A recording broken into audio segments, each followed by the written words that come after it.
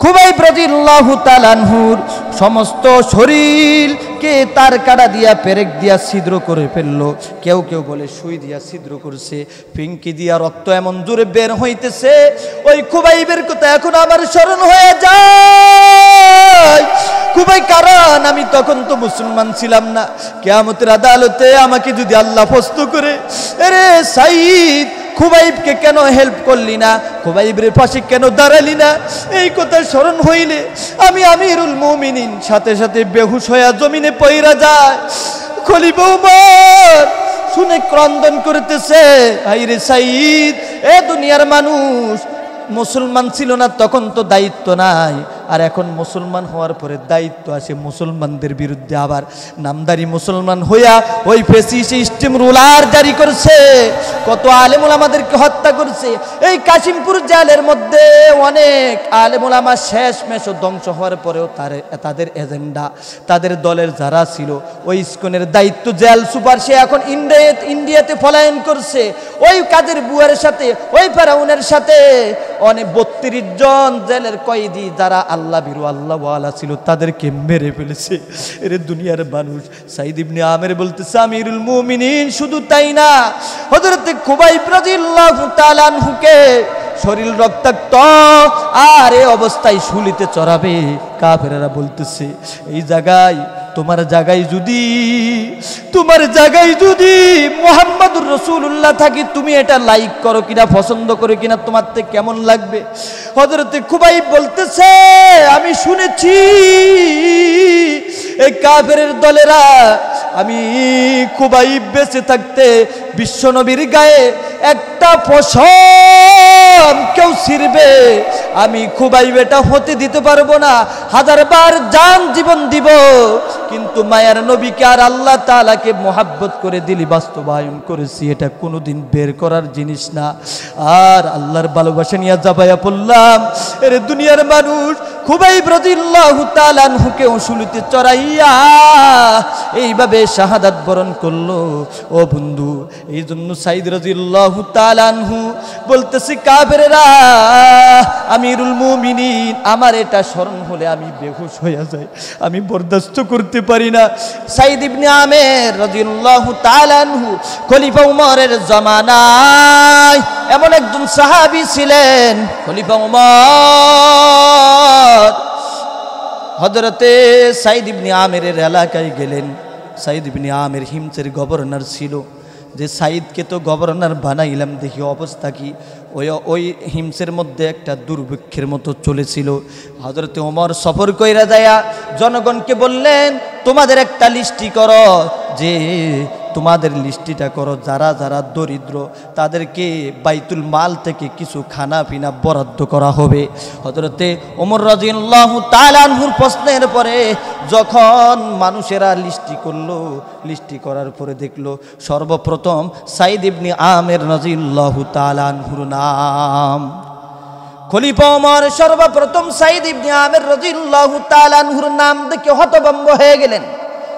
এ মানুষ এর কারণ কি?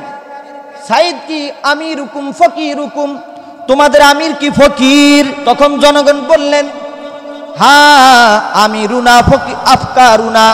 আমাদের আমির সবার থেকে বেশি দরিদ্রবান, সবার থেকে বেশি ফকির। ও দুনিয়ার মানুষ রে তখন খলিফা ওমর আমিরের এই অবস্থা, মন্ত্রীর এই অবস্থা শোনার সাথে সাথে এক হাজার দিরহাম নিজের বাইতুল মালতে বাইতুল মাল থেকে বের কইরা দুধ বাহক তাড়াতাড়ি সাইদ ইবনে আমেরের কাছে ফাটাইয়া দিলেন। সাইদ ইবনে আমেরের কাছে ফাটানোর সাথে সাথেই সাইদ ইবনে আমের রাজিউন। উচ্চ স্বরে বলে ফেললেন, এখন বাসার থেকে স্ত্রী আওয়াজটা শুনে উনি ভাবলেন হয়তো যে আমিরুল মুমিনিন খলিফা উমর মনে হয় শহীদ হয়ে গেছে। নচেত ইন্না লিল্লাহ বলার কোনো কারণ নাই। কারণ কি? স্ত্রী জিজ্ঞাসা করলেন, স্বামী গো, কী হয়েছে? খলিফা উমর কি মারা গেছে? ক, না, এর থেকে বড় কিছু হয়েছে। তাহলে কি মুসলমানদের কি একটা জামাত কাফেরদের বিরুদ্ধে পরাস্ত হয়েছে, পরাজয় বরণ করছে? ক, না না, দুনিয়া আমাকে গ্রাস করে ধরতেছে। তাই আবার কি? ক, আমিরুল মুমিনিন, আমার জন্য এক হাজার স্বর্ণ মুদ্রা পাঠাইছি। এই জন্য তখন সাইদ ইবনে আমের বললেন, স্ত্রী গো, অথচ ওনাদের দরিদ্রতা সবার থেকে বেশি। একজন মন্ত্রীর অবস্থা খুব খারাপ, তিন বেলা খাবারও জুটাইতে পারে নাই। সাইদ ইবনে আমের রাজিউল্লাহ তালানহু স্ত্রীকে বললেন, স্ত্রী এই সমস্ত সম্পদগুলা গরিবদের কাছে বন্টন কইরা দাও। আমি বলতে চাই, আজকে যদি আমার স্ত্রী হতো, আর হাদিয়া আসার পরে তো আলহামদুলিল্লাহ বলার কথা, আমার ইমান ওই পরিমাণ ফাঁকাভুক্ত হয় নাই যে আমি হাদিয়া আসার পরে ইন্নালিল্লাহ বলব। এটাও সাহাবিদের থেকে শিক্ষা গ্রহণ করতে হবে রে দুনিয়ার মানুষ।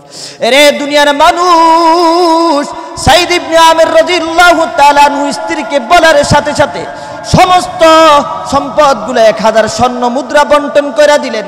বন্টন করার পরে এই খবরটা যখন খলিফা উমরের দরবারে পুষল খলিফা উমর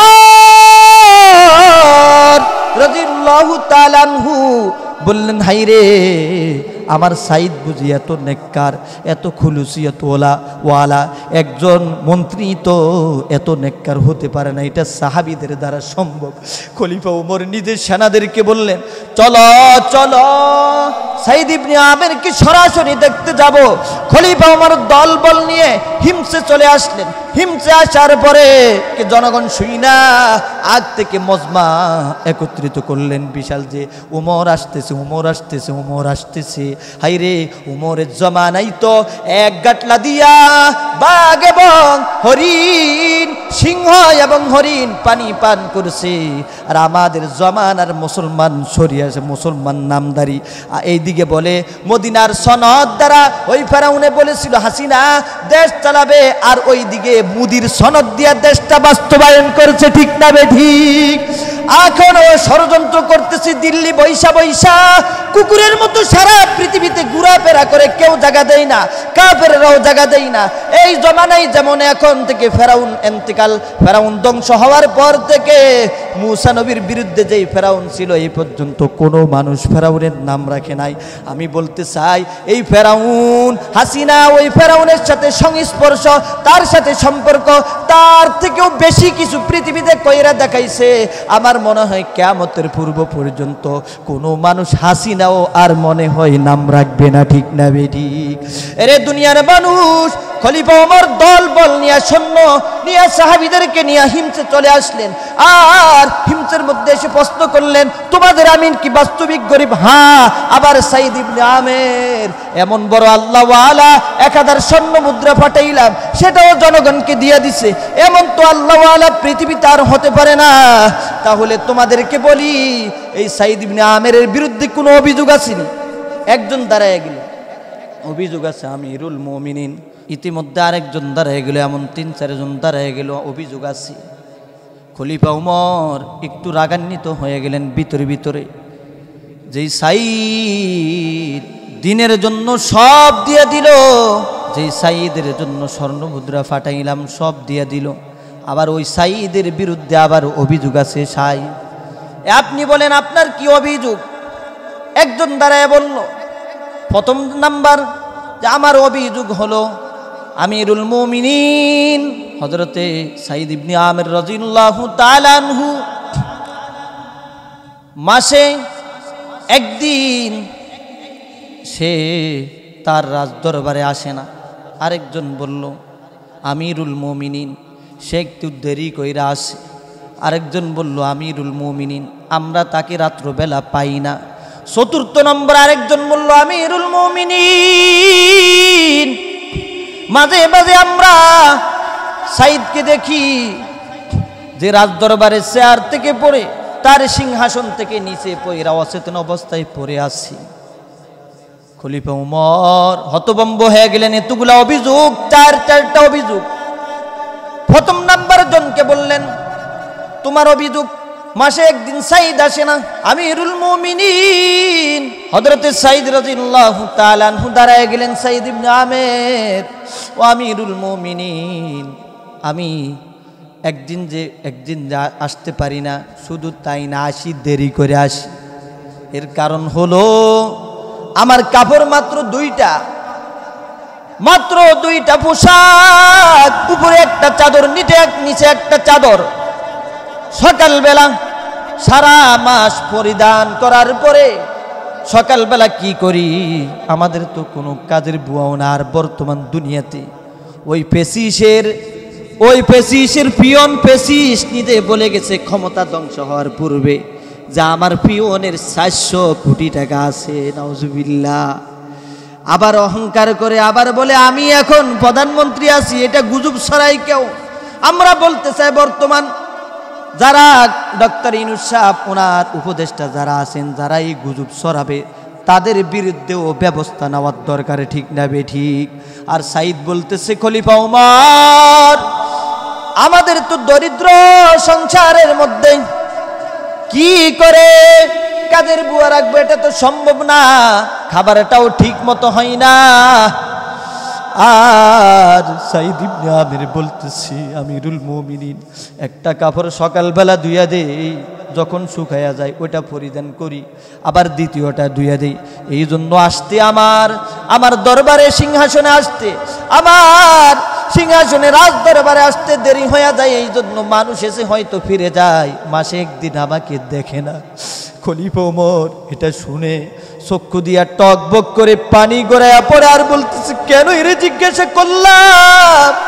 আমার সাইদের মতো পবিত্র আমার সাইদের মতো এক ওয়ালা তো হতে পারে না।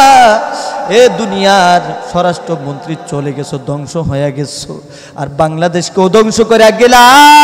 ওই ধ্বংসের হাত থেকে আল্লাহ মহান এই জমানার আবাবিল ফাকি ছাত্রদের দ্বারা হেফাজত করেছে।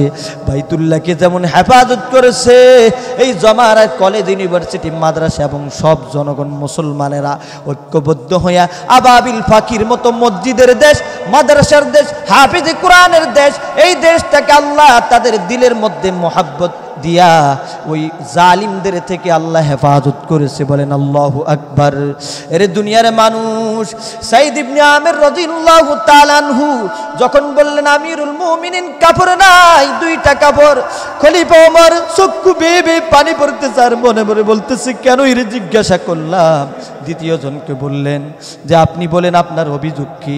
দ্বিতীয় নম্বরে বললেন, আমার অভিযোগ হলো, সাইদ সাইদকে আমি রাত্রবেলা পাই না। তখন দ্বিতীয় জন বলল, আমিরুল মুমিনিন, আমি রাত্রবেলা যাই, কিন্তু আমি রাত্র এবং দিনকে দুই ভাগে ভাগ করেছি। দিনের বেলাটা জনগণের জন্য, রাতের লাস্টের কিছু অংশটা আমি আল্লাহ তালার জন্য বরাদ্দ করেছি। আল্লাহ আল্লাহ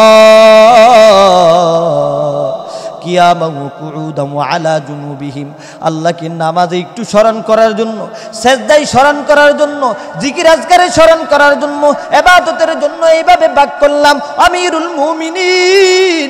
কলিবে ওমরের চক্ষু বাইয়া বাইয়া পানি পরে দাড়ি ভিজে ভিজে পানি পড়তেছে। হাই রে কেন জিজ্ঞাসা করলাম, তৃতীয় জনকে বললেন, তোমার অভিযোগ কি? আমিরুল মুমিনিন মাঝে মাঝে সাইদ অফিসের মধ্যে দেরি কইরা আসে। সাইদ কি বললেন, ও সাইদ, কেন রে দেরি করে আসো। সাইদ ইবনে আমের বললেন, আমিরুল মুমিনিন, আমি দেরি করি, মাঝে মাঝে কেন শুনেন? আমার তো বাসায় কাজের বুয়া নাই, আমার ছেলে সন্তান কয়েকজন, স্ত্রী একা রান্না বান্নার জন্য পারতেছে না। এই জন্য আমিরুল মুমিনিন, আমি মাঝে মধ্যে স্ত্রীর সাথে একটু হেল্প করি। আর বর্তমান জমা নাই তো এটা বললে তো দেখা যাবে মানুষ তো মানুষ তো অধিকাংশ আলে মোলামা ছাড়া, আল্লাহ বিরু ছাড়া, ধর্মের বাইরে যারা দুনিয়াদার, তারা তো একটু তরকারিতে লবণ বেশি হইলে মারামারি শুরু হয়ে যায়। আর আমিরুল মোমিনিন এই দিকটাও আলে মোলামাদের থেকে, সাহাবিদের থেকে শিক্ষা গ্রহণ করতে হবে রে দুনিয়ার মানুষ। মাঝে মাঝে নিজের স্ত্রীর সাথে রান্না বান্নার কাজে পর্যন্ত হাত অগ্রসর করতেন। ও দুনিয়ার মানুষ বিশ্বনবী পর্যন্ত নিজের স্ত্রীর রান্না করা কোনো সময় ভুল ধরতেন না। আল্লাহ যারা, তারা এগুলা ভুল ধরেন না। বন্ধু আমার, আপনি যখন রান্না করাটা একটু খারাপ হবে, আর যদি ভালো হবে, এই কথা বলেন যে খারাপ হওয়ার পরেও ভালো হয়েছে তখন দেখবেন আপনার স্ত্রী তার কলিজা কাইটা খাওয়াই দেওয়ার জন্য প্রস্তুত হয়ে যাইবে। আর এই এক লাখটা সাহাবিদের এক লাখ এই এক লাখ তো নবীর এক লাখ আলে মোলামাদের এক লাখ এমন আলে মোলামারাও নিজের স্ত্রীর সাথে অনেক সময় সহযোগিতা করে থাকে। কিন্তু দুনিয়াদারে যারা স্ত্রীর হাতের খাবারও জুটে না, ভালোবাসা আই লাভ ইউটাও জুটে না, কারণ পর নারীকে বলতে বলতে ওই স্বরাষ্ট্রমন্ত্রী, ওই টাকলা মুরাদ, ওই বন্ধু আমার বেহায়াপনা করতে করতে এগর এগর দুনিয়াও যায়, জীবনও যায়, আখেরাতেও যায়, দুনিয়াও শেষ, সব শেষ। কারণ এরা দুনিয়া নিয়ে ফারাফারি করে রে দুনিয়ার মানুষ। কারণ এরা সর্বপ্রথম আল্লাহ তালার নবীর এক লাখ সাহাবিদের এক লাখ নিজের জীবনের, সাহাবিদের কালচারগুলো নিজের জীবনে বাস্তবায়ন করে নাই। আর এই জমানায় আলেমুল আমাদেরকে যারা ফলো করবে তারা নিজের জীবনকে পরিশুদ্ধ করতে পারবে, পরিশুদ্ধ করলে সংসারে শান্তি হবে। ও বন্ধু, খেয়াল করে শুনো। চতুর্থ জনকে বললেন, কেন রে, তৃতীয় নম্বর বললেন, এই জন্য আমি হেল্প করতে যাই অনেক সময়, মাঝে মধ্যে দেরি হয়ে যায়। আমিরুল মুমিনিন সব সময় না, খলিফা ওমর ক্রন্দন করতেছে, জনসম্মুখে ও দুনিয়ার মানুষ, সুপারস্টার তো সাহাবিদেরকে মানতে হবে। সর্বশেষ আরও বড় একটা জঘন্য, আরও বড় একটা মর্মান্তিক আলোচনা হলো সর্বশেষটা। চতুর্থজন বলতেছে, আমিরুল মুমিনিন। মাঝে মাঝে সাইদ রাজদরবারে অফিসের মধ্যে মাতাল হইয়া শুয়ে থাকে। এটা তো একটা জঘন্য কথা। আমিরুল মুমিনিন কেন রে সাইদ? দুর্বল। যারা অসুস্থ, তাদেরকে তো গভর্নর বানানো যায় না। স্বাবলম্বী হইতে হয়, শক্তিশালী হইতে হয়, ইমানের দিকে পাওয়ারফুল হইতে হয়। ও বন্ধু পাওয়ারফুল যদি, সব আলে মোলামারা যদি সত্যের জন্য সাইদ সাহেবের মতো, সত্যের জন্য মামুল হক সাহেবের মতো, এইভাবে মুসলমানদেরকে নিয়ে ময়দানে যদি জাফাইয়া পড়তো, আমার মনে হয় না এই দেশের পার্লামেন্টে কোরআনের আইন বাস্তবায়ন হই তার দেরি লাগবে না, ঠিক না বে ঠিক? এখনই সময় এখনই সময়। সব আসো, ঐক্যবদ্ধ হও কোরআনের জন্য। বড় বড় আলেমদেরকে ফলো কইরা একত্রিত হইয়া যদি তোমরা নির্বাচনে যাও, তাহলে এই দেশের পার্লামেন্টে কোরআনের আইন বাস্তবায়ন করাটা সম্ভব হবে, ঠিক না বে ঠিক? সাইদ ইবনে আমের বলতেছে, আমিরুল মুমিনিন। চতুর্থ জন দাঁড়াইলেন, মাতাল হয়ে শুয়া থাকে। আমিরুল মুমিনিনকে সাইদ ইবনে আমের বলতেছে, ও আমিরুল মুমিনিন, আমি মাতাল হয়ে শুয়ে থাকার কারণ হলো, আমি মুসলমান হওয়ার পূর্বে একটা মর্মান্তিক ঘটনা, আমি তখন মুসলমান হই নাই। ওই দিক খুবাই ব্রজিল্লাহ তালানহু আল্লাহ তা আল্লাহ রসুল খুবাইবকে নেতা বানাইয়া কোরআন শিক্ষা শিক্ষা দেওয়ার জন্য একদল মুনাফিক সাইজা ওই রসুলের দরবারে গেছে, তারা কোরআন শিক্ষা গ্রহণ করবে। ওই খুবাইবের সাথে তারা বিশ্বাসঘাতকতা করল, তারা মুনাফিক ছিল। খুবাইব রাদিল্লাহ তালানহুকে মারতেছে। খুবাইব রাদিল্লাহ তালানহুকে বন্ধু আমার, ওই তিন মাস পর্যন্ত ওই ওই একটা কুটিরের মধ্যে আবদ্ধ করে রাখছে। আমি তখন মুসলমান হই নাই, দূর থেকে আমার মনটা গলতো। আর সারা দিন তিন মাসের মধ্যে একদিনও খুবাইবকে কোনো খাবার দেয় না ওই যে খুবাইব, আমি দূর থেকে দেখতাম খুবাইবকে কোনোদিন খাবার দিত না। যখন সবাই চলে যাইত, একটা ছিদ্র দিয়া ফলো করতাম, খুবাইব আর হাত বাঁধা, পাও বাঁধা। কিন্তু খুবাইবের সম্মুখে, মুখের সামনে আঙ্গুর, বেদানা, ফল ফুরুত এসে উপস্থিত। আর হজরত খুবাইব খ ফল সিরা সিরা বক্ষণ করতেছে, বন্ধু আমার, এটা হলো জান্নাতি খাবার। দুনিয়াতে আল্লাহ সাহাবিদেরকে দিয়েছে, আমিরুল মুমিনিন, আবার এখনও স্মরণ আছে, আমি তখন মুসলমান হই নাই। খুবই প্রতিল্লাহু তালানহুর সমস্ত শরীরকে তার কাটা দিয়া, পেরেক দিয়া ছিদ্র করে ফেলল। কেউ কেউ বলে, সুই দিয়া ছিদ্র করছে পিঙ্কি দিয়া রক্ত এমন দূরে বের হইতেছে। ওই খুবাইবের কথা এখন আমার স্মরণ হয়ে যায়। খুবই কারণ, আমি তখন তো মুসলমান ছিলাম না। কেয়ামতের আদালতে আমাকে যদি আল্লাহ ফস্ত করে আরে সাইদ খুবাইবকে কেন হেল্প করলি না? খুবাইবের পাশে কেন দাঁড়ালি না? এই কথা স্মরণ হইলে আমি আমিরুল মুমিনিন সাথে সাথে বেহুশ হইয়া জমিনে পইরা যায় উমর শুনে ক্রন্দন করতেছে আইরে সাইদ এ দুনিয়ার মানুষ, মুসলমান ছিল না, তখন তো দায়িত্ব নাই। আর এখন মুসলমান হওয়ার পরে দায়িত্ব আছে মুসলমানদের বিরুদ্ধে আবার নামদারি মুসলমান হইয়া ওই ফেসি সিস্টেম রুলার জারি করছে। কত আলেমুল আমাদেরকে হত্যা করছে। এই কাশিমপুর জেলের মধ্যে অনেক আলেমুল আমার শেষ মেশ ধ্বংস হওয়ার পরেও তার তাদের এজেন্ডা, তাদের দলের যারা ছিল, ওই ইস্কনের দায়িত্ব জেল সুপার সে এখন ইন্ডিয়া, ইন্ডিয়াতে পলায়ন করছে। ওই কাদের বুয়ারের সাথে, ওই ফেরাউনের সাথে। অনেক বত্রিশ জন জেলের কয়েদি যারা আল্লাহ বিরু আল্লাহ ওয়ালা ছিল, তাদেরকে মেরে ফেলেছে। এরে দুনিয়ার মানুষ। সাইদ ইবনে আমের বলতেছে, আমিরুল মুমিনিন, শুধু তাই না, হযরতে খুবাই রাদিয়াল্লাহু তাআলা আনহুকে শরীর রক্তাক্ত, আর এ অবস্থায় শুলিতে চড়াবে। কাফেরেরা বলতেছে, এই জায়গায়, তোমার জায়গায় যদি, তোমার জায়গায় যদি মোহাম্মদুর রসুল্লাহ থাকি, তুমি এটা লাইক করো কিনা, পছন্দ করো কিনা, তোমার থেকে কেমন লাগবে? হজরতে খুবাই বলতেছে, আমি শুনেছি, এই কাফের দলেরা, আমি খুবাই বেঁচে থাকতে বিশ্বনবীর গায়ে একটা পশম কেউ ছিড়বে, আমি খুবাই বেটা হতে দিতে পারব না। হাজার বার জান জীবন দিব, কিন্তু মায়ার নবীকে আর আল্লাহ তালাকে মোহাব্বত করে দিলি, বাস্তবায়ন করেছি, এটা কোনোদিন বের করার জিনিস না। আর আল্লাহর ভালোবাসা নিয়ে যাবাইয়া পড়লাম, এর দুনিয়ার মানুষ খুবই ব্রজিল্লাহু তালানহুকে অসুলিতে চড়াইয়া এইভাবে শাহাদাত বরণ করল। ও বন্ধু এই জন্য সাইদ রাজিল্লাহু বলতেছি আমিরুল মুমিনিন, আমার এটা স্মরণ হলে আমি বেহুশ হয়ে যাই, আমি বরদাস্ত করতে পারি না। এ দুনিয়ার মানুষ, যারা ধ্বংস হয়ে চলে গেছ, আর যারা ভবিষ্যতে আসবা, স্মরণ রাইখো আমেরের মতো নীতি নিয়ে যদি না আসো, এই বাংলার জনগণ, আবার মুসলমানেরা তোমাদেরকে বিতাড়িত করতে, এই দেশ থেকে ধ্বংস করতে কোনো পরোয়া করবে না। কারণ এই দেশ অলি আল্লাহর দেশ, এই দেশের মধ্যে আলেমুল আমাদের রক্ত পড়েছে, এই দেশের মধ্যে ফাঁসির কাস্টে ওই যে নিজামি সাপ পর্যন্ত ঝুলেছে, জালিমদের কাছে মাথা নত করে না বন্ধু আমার। এর দুনিয়ার মানুষ যারা ক্ষমতায় আসবা, স্মরণ কইরা, তওবা কইরা, ইমানদার হয়ে আইসো, সিংহাসনে বসলে পরিপূর্ণ কালামুল্লাহ বাস্তবায়নের জন্য আসবা। নসেদ বন্ধু আমার এই দেশের মুসলমানেরা আবার গণজোয়ার এমনভাবে করবে তারা তো ওই ফেসিসের দলেরা তো ফলারুর রাস্তা পাইছে, এখনও কিছু কিছু ফলায় আছে বিভিন্ন অলিতে গলিতে। আর এখন যারা যদি বন্ধু আমার দুনিয়াদারও কেউ যদি আসো, আমরা মনে করি দুনিয়াদার আসতে পারবে না। মুসলমান ঐক্যবদ্ধ যেমন করে আসে সব ইসলামিক দলগুলা যদি ঐক্যবদ্ধ হয়ে নির্বাচন করে, এই দেশে একটা সুন্দর রাষ্ট্র আফগানিস্তানের মতো উপহার দেওয়া এই বাংলার জমিনের মুসলমানদের দ্বারাই সম্ভব, ঠিক না বে ঠিক?